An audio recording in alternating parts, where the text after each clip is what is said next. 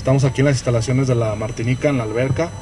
Estamos aquí con el director de Protección Civil y Bomberos del municipio de San Juan de los Lagos, mi compañero el promotor deportivo. Este, ¿Por qué estamos aquí? Estamos aquí porque el director tomó la iniciativa para dar una capacitación de, natación y rescate en el agua a sus elementos por cuestiones de por las cuestiones que, tiene ahorita en el temporal que de repente se presentan situaciones de peligro entonces él tomó la, la, decisión de, hacer esta capacitación nos pidió a nosotros este, las instalaciones nosotros pues claro que, que eh, con indicaciones del presidente este, aceptamos eh, apoyar al compañero este, para que tenga sus capacitaciones, pero sí, sí hacerle saber a la gente que la alberca no está, no está abierta al público, únicamente se va a utilizar durante un tiempo para capacitación de los elementos de protección civil, que a continuación el director, mi compañero, les va a explicar a detalle este, todo el tema de la capacitación.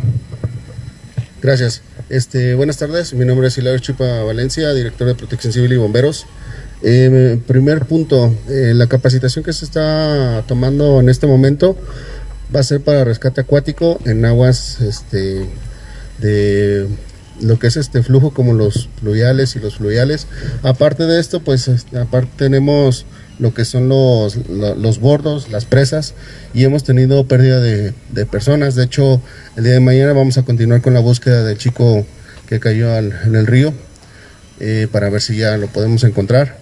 Este, y pues hemos tenido también reporte de animales que han caído a, pozos, a bordos y hemos tenido que rescatar. Hace poco tuvimos el rescate de cinco perros pequeños, este, cachorros de hecho, eh, y asimismo el hecho de dar la capacitación es para poder brindar una mejor atención a la población este, y poder atender de manera rápida e inmediata todo lo que son los servicios de, de rescate acuático, ya teniendo el personal mejor capacitado, así como en otras áreas, estamos también en prácticas bomberiles, estamos también haciendo prácticas en lo que es este primeros auxilios y vamos a hacer prácticas en este momento de natación eh, y posteriormente vamos a hacer lo que es rescate acuático y rescate fuera de las albercas en personas con paro cardiorrespiratorio.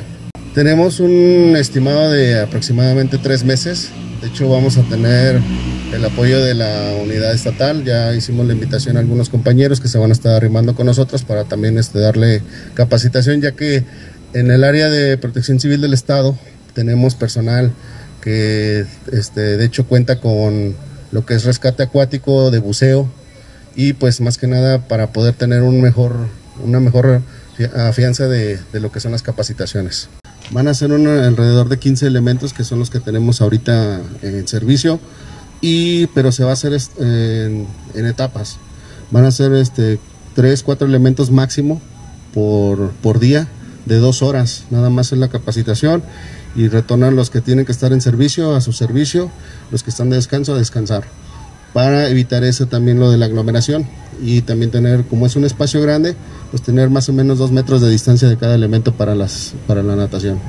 Sí, así es. Por el momento únicamente se va a utilizar para las capacitaciones y pues para darle el mantenimiento apropiado a toda la, a instalación, a toda la unidad deportiva. Este, por el momento está, está permitido la apertura de albercas privadas. E, esto, nosotros tomamos la decisión de utilizar la alberca por, lo, por la necesidad que tenía aquí mi compañero director para la capacitación de los elementos.